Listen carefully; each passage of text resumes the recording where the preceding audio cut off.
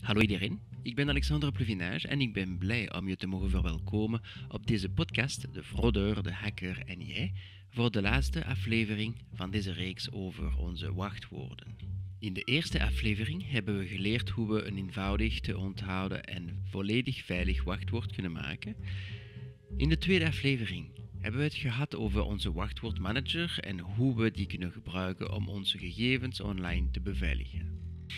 In deze laatste aflevering gaan we kijken hoe we kunnen controleren of onze wachtwoorden ergens gestolen zijn of te koop zijn op het internet. Dus als je klaar bent, let's go!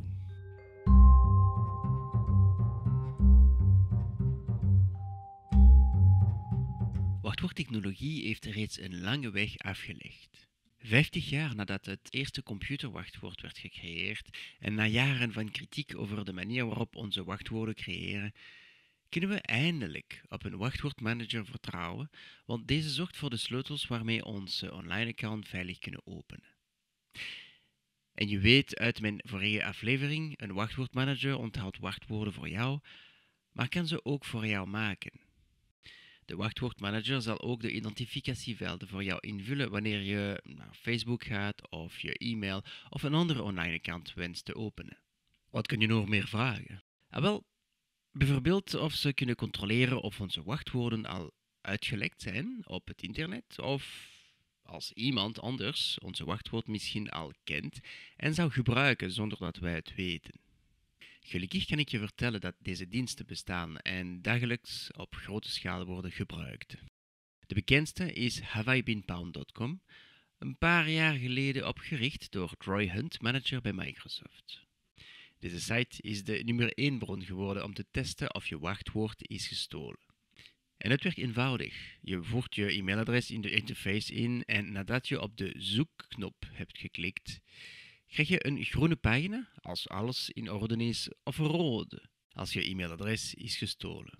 En als je naar beneden scrolt, kun je ook zien op welke website of wanneer.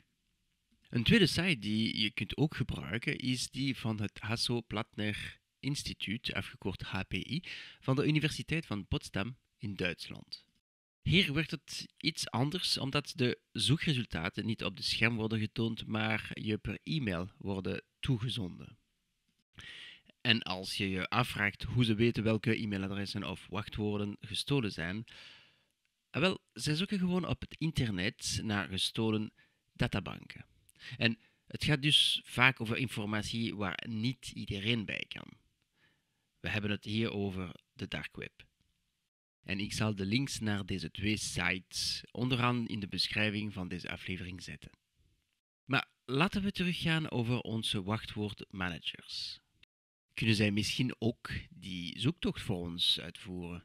En als we toch mogen vragen, kunnen ze ons waarschuwen als ze een beveiligingslek ontdekken?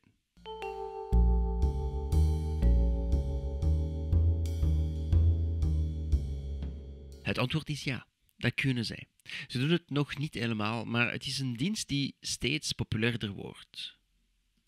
Apple en Google hebben het onlangs hun mobiele telefoons geïntegreerd.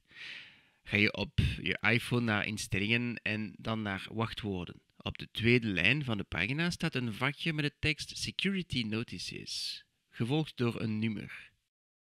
Dit is het aantal wachtwoorden dat ofwel gestolen ofwel erg gebruikt wordt. Of ze worden aanzien als te eenvoudig, dus riskant voor je online veiligheid. Je kan ze dan vanaf deze pagina wijzigen.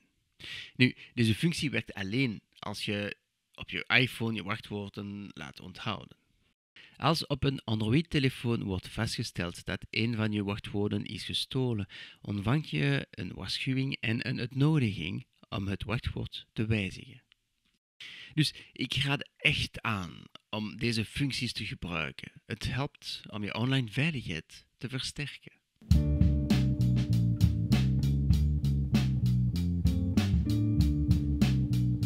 Er is nog één tip dat ik wil geven voordat we deze serie over wachtwoorden afsluiten. We hebben vaak gehoord dat je je wachtwoord regelmatig moet veranderen. En niet iedereen doet dat. Onderliggende reden, wij willen onze wachtwoorden niet vergeten en ze veranderen houdt het risico in dat je ze niet meer herinnert. Wel, het goede nieuws is dat steeds meer cyberdeskundigen zich tegen de aan beveiliging van je wachtwoord regelmatig te veranderen uitspreken. In de eerste plaats omdat het nutteloos is een wachtwoord te veranderen door een andere die enkel één cijfer meer of minder komt te staan. Bijvoorbeeld Nicolas 1 vervangen door Nicolas 2 is belachelijk. Zonder te zeggen dat Nicolas 1 is al erg makkelijk te raden. Maar vooral, er is geen reden om je wachtwoord te veranderen zolang het niet in gevaar is. Niemand gaat het slot op de voordeur van het huis vervangen als de sleutel niet verloren is. Dus als je een wachtwoordmanager gebruikt en hierdoor al je wachtwoorden verschillend zijn, zou je deze alleen moeten veranderen als je wordt geconfronteerd met een datalek van je inloggegevens. Het lijkt vanzelfsprekend, maar een gelekt wachtwoord moet onmiddellijk worden gewijzigd op alle online accounts die dat wachtwoord gebruiken. En ik weet dat nog veel mensen vandaag gewoon wachten of het vergeten. Maar wist je dat cybercriminelen robots gebruiken, een soort van software die gestolen wachtwoorden test op alle online platformen? Gewoon omdat ze weten dat veel mensen nog steeds overal hetzelfde wachtwoord gebruiken. Dus geef ze geen kans, verandert je gestolen wachtwoorden onmiddellijk. Als een onbekende de sleutel van je huis had, hoe lang zou je wachten om het slot te vervangen?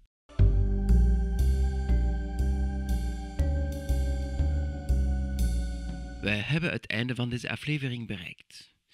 In een volgende nummer wil ik het hebben over twee-factor identificatie, die niet alleen de toegang van onze online accounts veiliger maakt, maar ons ook waarschuwt wanneer iemand een van onze wachtwoorden gebruikt zonder dat wij het weten. Sommige podcastplatforms laat je toe om de aflevering die je leuk vindt te beoordelen. Door dat te doen, help je mijn werk te promoten. En als je denkt dat deze informatie je vrienden of familie zou kunnen helpen, voel je dan vrij om hen over deze podcast te vertellen of deze aflevering met hen te delen. Je kan je ook abonneren en alerts activeren om op de hoogte te blijven van de volgende afleveringen. Ik wens je nog een heel fijne dag en tot gauw in de volgende aflevering van De Fraudeur, de Hacker en jij.